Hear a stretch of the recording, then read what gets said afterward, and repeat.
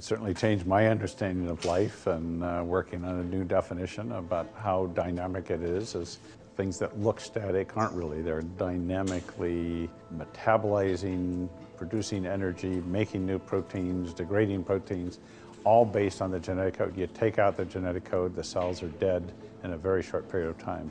You substitute the genetic code with new genetic code, they make new proteins, and the cell turns in to whatever is uh, dictated by that chromosome. So cells are uh, software-driven biological machines. You change the software, you get a different machine built.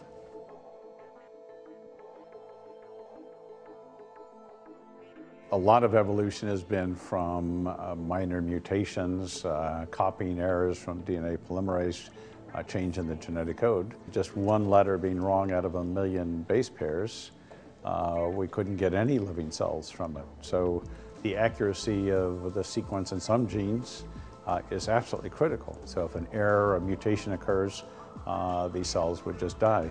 At the same time, if they're exposed to UV radiation or, or other mutagens, it could slowly mutate into something else. Uh, but we don't have too many of those in the laboratory where they grow, uh, and certainly not in the freezer where they're sitting now.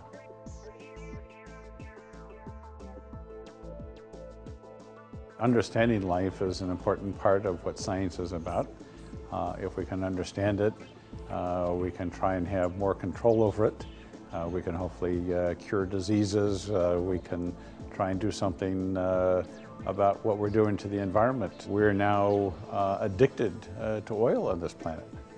we have to end that addiction before we kill the patient. So we need to find substitutes for burning oil, for burning coal.